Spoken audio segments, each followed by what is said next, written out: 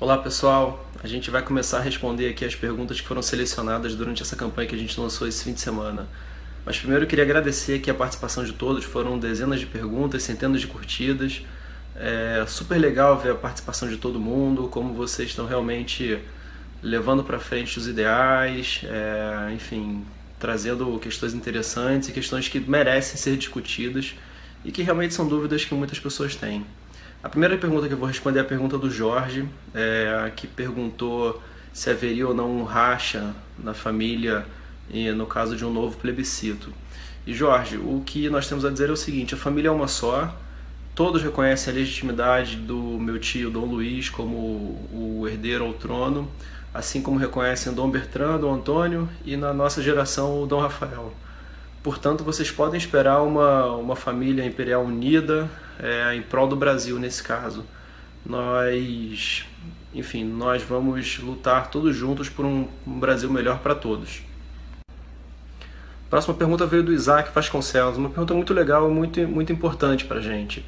O Isaac perguntou é, quando haveria uma maior coordenação sobre, é, sobre, enfim, sobre os movimentos monárquicos e uma maior centralização de, de ideais e de ideias é, da causa como um todo. Isaac, de fato isso já acontece. É, a página da Promonarquia é a página oficial da Casa Imperial Brasileira, tá? Então todas as diretrizes são dadas pela Promonarquia.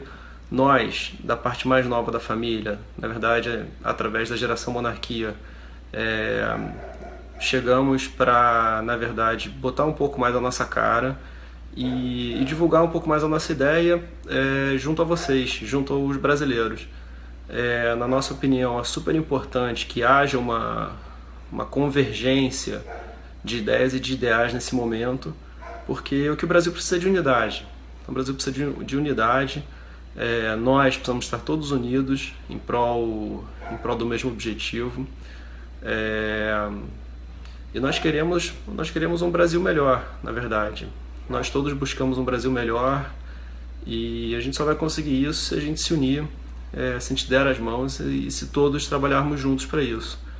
Então, respondendo a sua pergunta, já, já existe essa, essa concentração de, do, do movimento, que dá através da promonarquia e, como eu falei agora, através de nós. Boa noite, pessoal. Eu vou responder a pergunta do Silvio Henrique. A geração monarquia chega para ser a voz da parte mais nova da família, junto aos brasileiros. Esperamos conseguir ser uma nova liderança dentro do movimento. Acreditamos que usando as redes sociais, expondo nossas ideias e principalmente contando com a ajuda de todos os que nos seguem, vamos conseguir espalhar nossos ideais entre os brasileiros. Podem esperar uma atuação bem ativa nossa por aqui. Bom dia. Respondendo à pergunta do Jean Lima, eu e minha irmã sempre fomos preparados e sempre soubemos da responsabilidade que temos frente ao Brasil. É, sim, estamos aptos e dispostos a dar continuidade ao movimento. Estamos nos envolvendo cada vez mais. Acho que a página do Facebook mostra essa nossa disposição.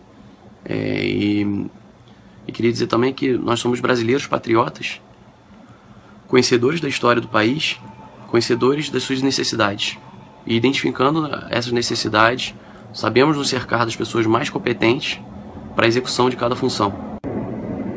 Respondendo à pergunta do Jorge Aquino, o poder moderador ele vem atuar de forma a garantir a independência e a harmonia dos três poderes, dando assim estabilidade e segurança institucional e constitucional ao país.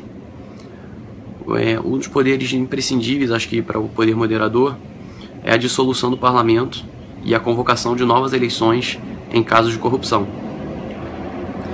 Quanto à nomeação e indicação dos ministros e ministérios, Cabe ao chefe de governo fazer essas nomeações e ao chefe de Estado, no caso monarca, de validar ou chancelar essas, essas nomeações. Bom, pessoal, de novo, super obrigado aí pela participação de todo mundo. A gente teve, como eu falei no começo desse vídeo, dezenas de perguntas, centenas de curtidas. É, para a gente é super importante a participação de todos aqui. A gente quer saber quais são as maiores dúvidas de vocês, as maiores demandas e a gente está super disponível para responder todas as perguntas.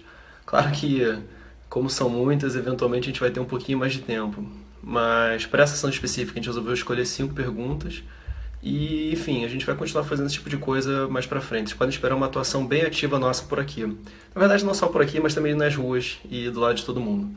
Tá bom? Uma boa semana para todo mundo e não deixem de curtir e de compartilhar a nossa página. Obrigado!